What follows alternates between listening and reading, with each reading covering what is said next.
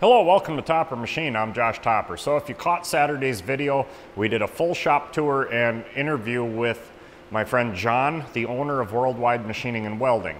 And we covered a lot of stuff. Um, basically, his business is shutting down. Um, he went from a facility, a very large facility of uh, close to 50 employees or maybe over 50 employees down to seven over the last eight years just because the economy in our region is so terrible. Um, a lot of businesses closing up, a lot of industry clo- just shutting down or, or just moving out altogether. Um, so, you know, it went from a, having all this work to nothing in the matter of about seven or eight years. Um, you know, we can't blame this on COVID. We can't really blame it on the administration. Um, this is all this region. Um, you know, and I've said this a million times, this region is depressed, extremely depressed. Um, there's not much left.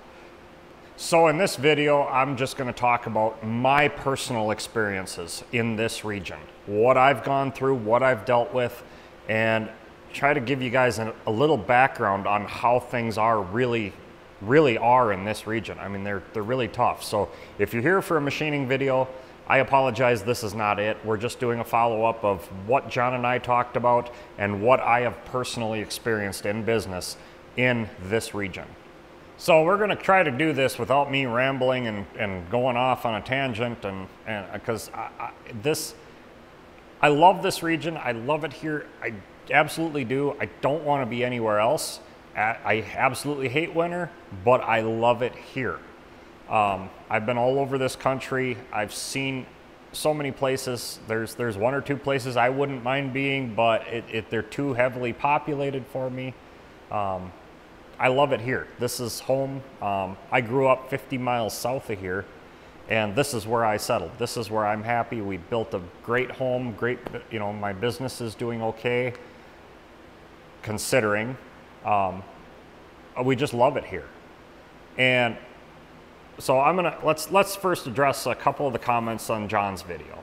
Um, we had a comment about if he's got 850 customers, how is he going out of business? Overhead. It's all about overhead. That facility that he's in is designed for the 40 or 50 guys in the shop, not for the five that he's got in the shop right now you cannot sustain that. Even, and, and those guys are just barely busy. That, that's the scary part. The work dried up. There isn't work flowing in like there was. It's really slowed down. So they're putting out work, but it's not covering the daily operating expenses. You know, power, heat. Heat is a huge one in this region. Um, you know, we talked, John and I talked in the video about people that live without heat. That happens a lot here. I'm not joking, a lot. And there's people that their entire paycheck go to cover their heat bill. Um, it's, it's crazy. It's, like I keep saying, depressed, very depressed.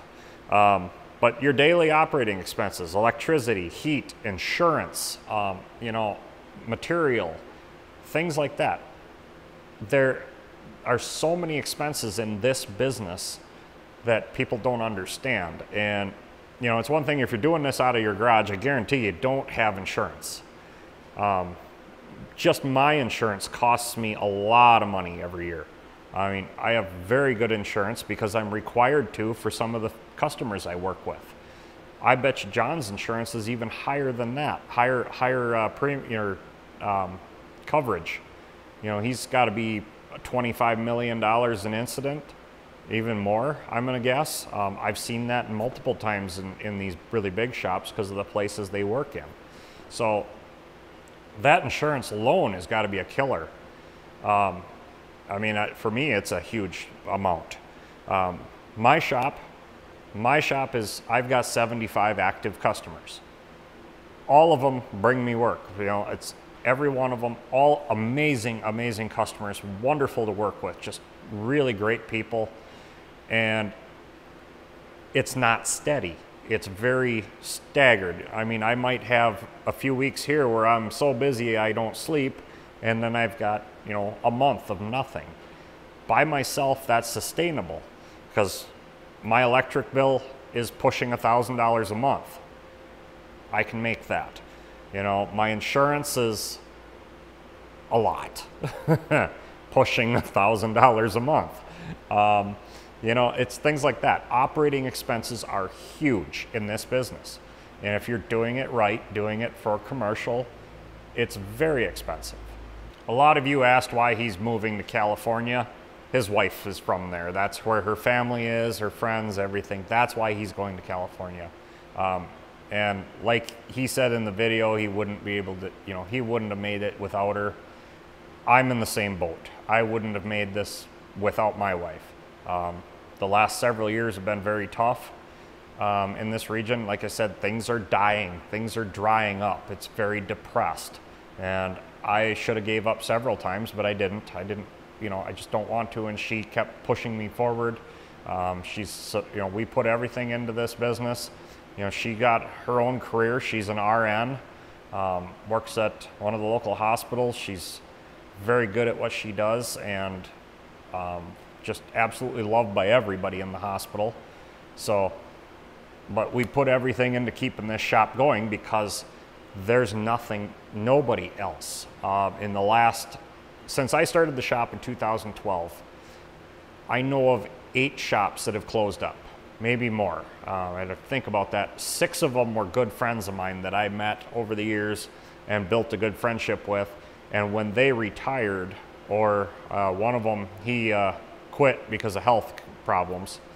When they closed up, I got their customers. They passed off the work to me because we worked back and forth and they saw the, the quality I was putting out was, you know, right there with theirs. They were very impressed with what I was doing and trying to do here.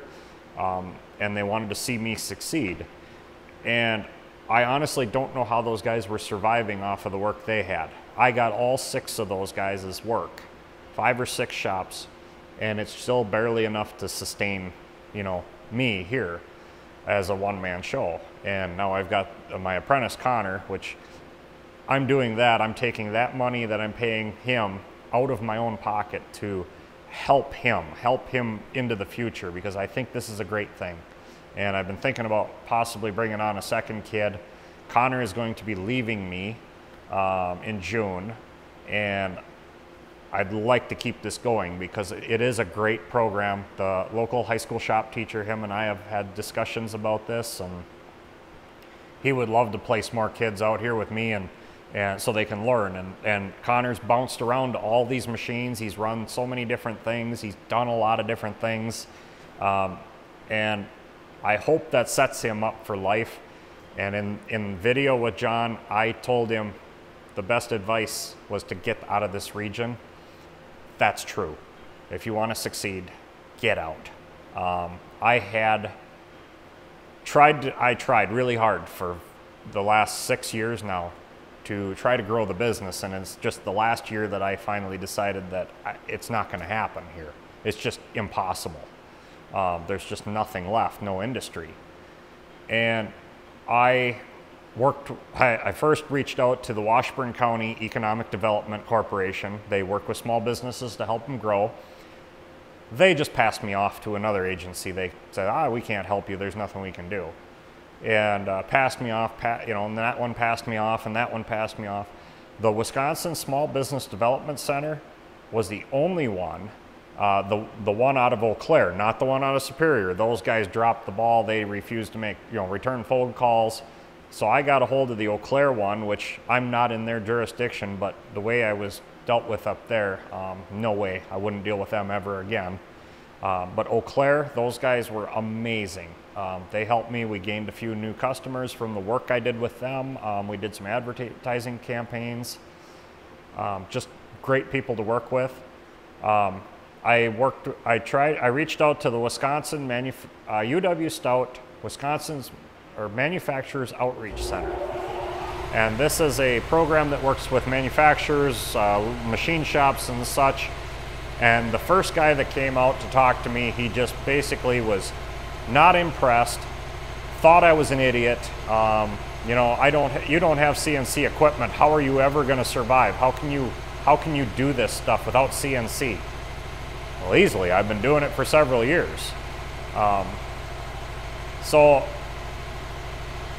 one of his colleagues reached out to me and we talked a bit and, and he tried helping me along and we, you know gave me some great pointers but a friend of his was a manufacturer's business coach. He does it for for money. Um, and he said well i'll just meet with you and we'll talk about you know what you've gone through and what you could do. He says i'll help you however i can. And um, we met spent two hours together. And he says well do you want my absolute honest professional opinion and my recommendation for you? And I says, yeah. I says, I'm interested in hearing what you have to say. And he says, the best advice I can give you to grow your business and succeed is to move out of Spooner. Pack up and move anywhere else, anywhere. Um, so I don't want to do that. I love it here. Um, we built a very nice life for ourselves here. I and there's the customers I do have here, like I said, I've been amazing people to work with. Great customers, great companies. Um, just it's been it's been good. Um, but like I said, my wife has helped to support us. You know, her her career, and it's it's very tough here. So I've reached out to our congressman and gotten nowhere. Um, gotten a response that that there's nothing wrong in that region. Everything's just fine. Um, yeah, sure it is. That's Tom Tiffany, if anybody's wondering. And um, in fact, I, I sent a link to the video I did with John about his shop closing up to Tom Tiffany, and I have not heard back. Um, and I doubt I will. Doubt any of us will. So, um, it's been very tough here. Very, very tough to start and run a business. Um, there is another machine shop in town that um, when I first started out, they screwed me over. They tried to tried to basically squash me, so I wasn't a problem. And uh, I quickly figured that out. Well, they sold a few years back to a bigger company, and I figured all new management and everything. They reached out to me asking if I would take on some work for them, and they pretty much did the same thing. Tried to I mean, they, they did everything they could to sabotage this. And I figured it out quick and I just said, nope, we're done. Done with you, done all around. Um, I've tried advertising in our local newspaper. This is a, this is a good one. Um, and uh, the new, local newspaper, this shop that I was, that I had problems with, the newspaper told me, oh, well, you're their, their competition. We won't work with you. There's nothing we will do for you um, because you're their competition. Um, so, you know, there, there's a lot of weird things going on here, and a lot of corruption. Um, you know, that's something John and I didn't talk about on camera is the corruption in this region of the government. Um, and I just don't want to keep going I, on, on, on this uh, tangent. Um, but like I said, this is very tough here. That's this is some of my personal experiences here. It's been very difficult.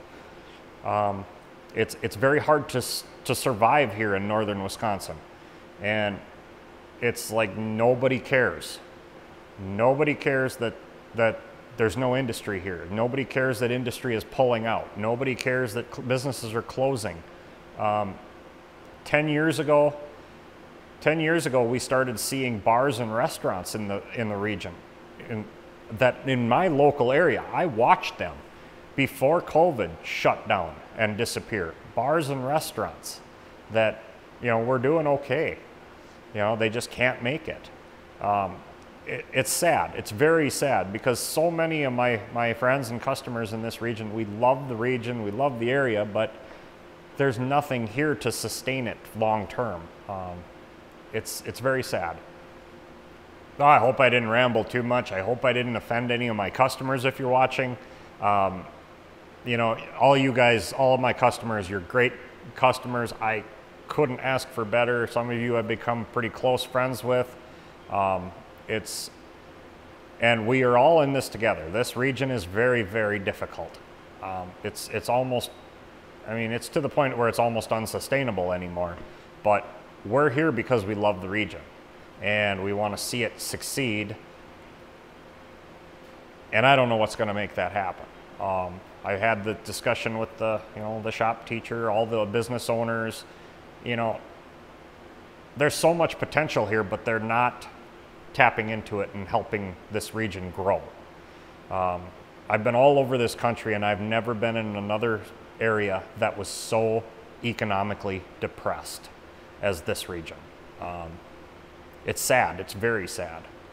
But I'm going to keep pushing along. I'm not going anywhere. I'm not giving up.